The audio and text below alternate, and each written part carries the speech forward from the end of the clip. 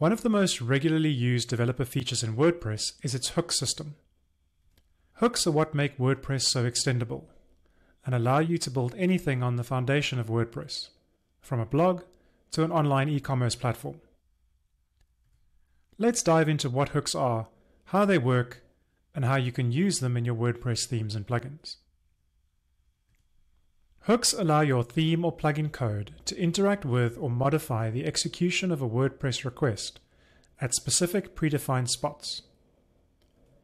There are two types of hooks, action hooks and filter hooks.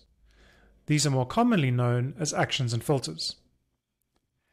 To understand how hooks work, let's look at how a hook is defined in WordPress core.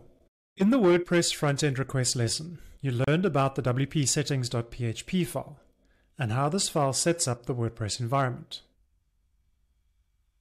If you scroll down to about line 643 of this file, you will see the following line of code. Do action init.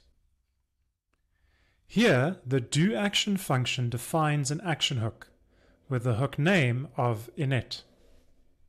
You can read more about this hook in the init hook documentation. As a developer, you can hook into this action and run your own code when this init action is fired. Essentially like being able to add your own code inside the wp-settings.php file at this point, but without actually modifying the core file.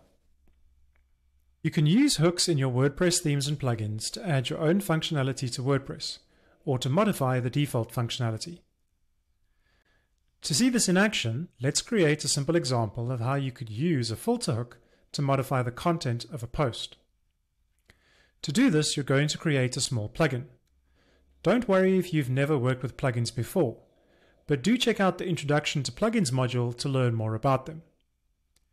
For now, in your code editor, browse to your WP Content Plugins directory and create a new file called wp-learn-hooks.php.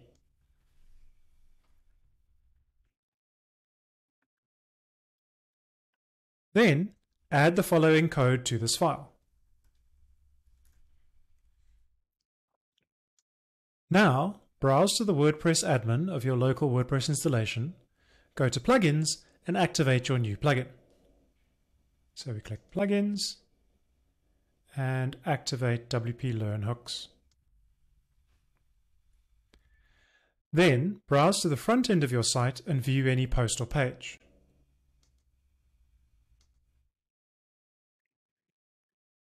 In this example, I'm going to view the sample page.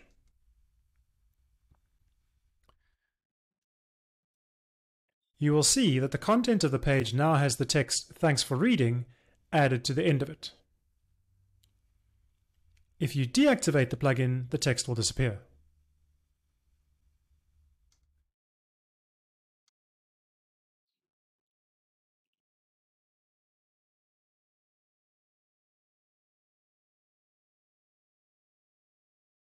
This is a very simple example of how you can use a filter hook to modify the content of a post. Don't worry if none of this makes sense right now, as we will cover this in more detail in the following lessons on action hooks and filter hooks.